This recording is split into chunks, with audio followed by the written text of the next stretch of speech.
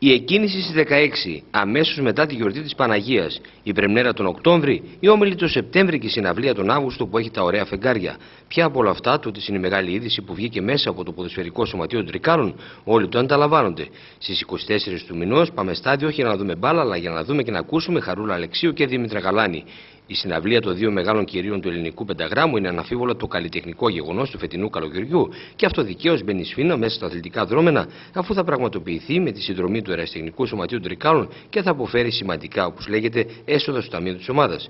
Κατά τα άλλα, θέμα ανησυχίας δεν τίθεται. Η διοίκηση, όπως διαρρέει στις ανακοινώσεις, έχει ένα συγκεκριμένο πλάνο δράσης στα θέματα που αφορούν την ενίσχυση του ρόστερ, δεν σκοπεύει να χτυπήσει στον πληστηριασμό των πρώτων ημερών και θα περιμένει προφανώς οι ευκαιρίες που θα παρουσιαστούν μετά το δεύτερο δεκαπενθήμενο του Αυγούστου, όταν θα πέσουν τα κασέ των ελεύθερων ποδοσφαιριστών που ψάχνουν συλλόγους περιφερειακού πρωταθλήματος.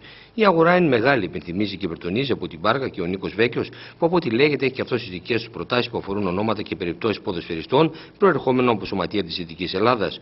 Ο προπονητής του ΑΟΤ, πέρα από τις μεταγραφές που έχουν γίνει ως τώρα, θα ζητήσει από τη διοίκηση την προσθήκη τεσσάρων παιχτών σε θέσεις όπου υπάρχουν κενά και δυστηνάμενα. Αναζητείται ένα υψηλό στόπερ στη μεσαία γραμμή του κοινού στον χώρο του αμυντικού χαφ, αλλά και στην επιθετική τριάδα.